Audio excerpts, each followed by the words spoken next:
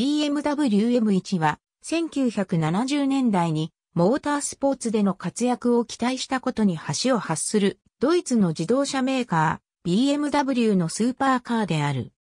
BMW M1 エンジンインテリア内部構造レース用の BMW M1976 年に BMW モータースポーツは当時ポルシェ934やポルシェ935の独占上だった国際自動車連盟のグループ4規定。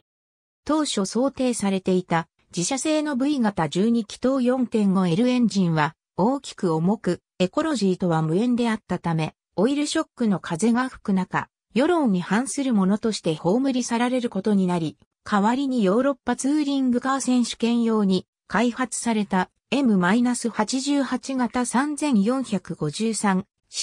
直列6気筒 DOHC エンジンがクーゲルフィッシャーの機械式インジェクションと組み合わせ採用された。このユニットは長大でありその結果ホイールベースの延長という弊害をもたらしたが、潤滑系統にドライ散布方式を採用することによりエンジンの搭載位置を大幅に下げ、重心を低くすることを可能とした。そのためクランクシャフトの中心は地上から 185mm に設定されている。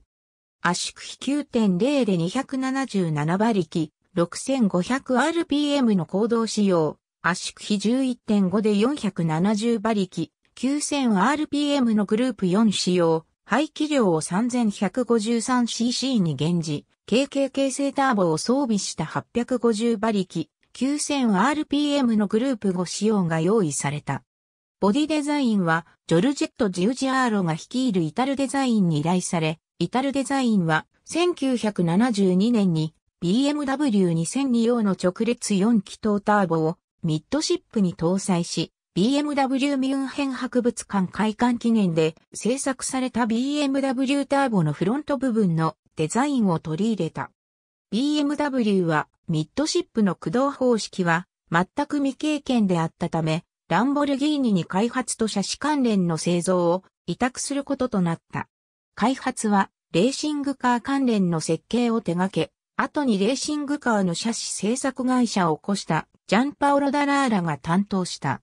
車種は角形交換で形成された丸形磁製、セミスペースフレームを採用し、すべての応力を強靭なフレームのみで受け止める構造となっており、応力のかからない外板はすべて FRP 製で、ボルト音と接着を併用して取り付けられている。ランボルギーニによる開発は順調に進み、1977年夏には最初の試作車が走行した。ランボルギーニは車種の製造に着手したが、その作業はあまりに遅く、この事態を打開するため BMW はランボルギーニの買収を検討したが、下請け業者が BMW の参加に入ることを拒否し、この買収計画は頓挫した。1978年4月には、ランボルギーニとの提携は解消され、シュトゥットガルトのバガーに委託先が変更された。ボディの生産に関しては、イタルデザインの拠点であるイタリアに、車種が送られ、FRP 外販の取り付け及び塗装が行われ、最終的には BMW モータースポーツによってサスペンションやブレーキ関連の組付けが行われることとなり、1978年秋のパリサロンに BMW M1 として発表された。しかしこの複雑な生産工程も、やはり効率が悪く、そもそもわずか週2台に設定されていた生産ペースは、遅れに遅れ、月3台前後が、やっとというありさまだった。グループ4の参戦条項である、連続する24ヶ月間に400台の生産には、はるか及ばず、レースに出ないまま終わってしまうことを危惧した BMW は、ワンメイクレースのプロカーレースを企画し、1979年途中から1908、